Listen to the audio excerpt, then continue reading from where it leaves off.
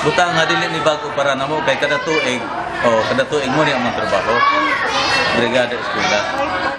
Ang atong Brigada Eskwela is focused on three R's. Uh, that is repair, replacement, and repainting activities. So, diri sa City Central School, ang ato ang main activity is focused on repainting.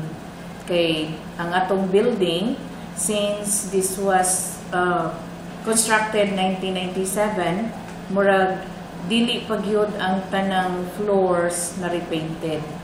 So murag kanang hugaw-hugaw na gyud siya.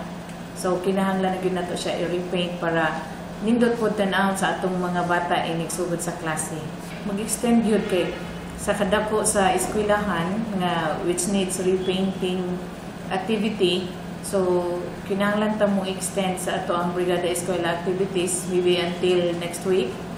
So, muna mo coordinate pa ta sa 43rd Engineering Engineer Brigade sa mga military nga ug mahimo i-extend nila ang ilahang services diri sa school.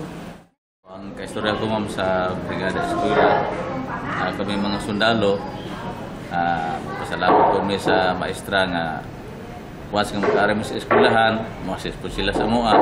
Kaya og di po sila mo sa MOA, nga mo mahog ra ni o tabang lang, maraglayan sa gayo. Tadapita magkita, dili po sila kalimot sa MOA.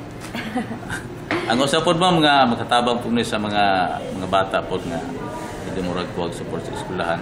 Ang eskwelahan po siyempre mo impact po sa eskwelahan nga ang eskwelahan ang guban at tungod mo ni mo na Ang ato lang is giawhag na tong mga ginikanan sa pagtabang sa eskwelahan sa para sa umaabot nga opening sa klase aron nga ikaduha ni natong balay gawa sa ato ang balay.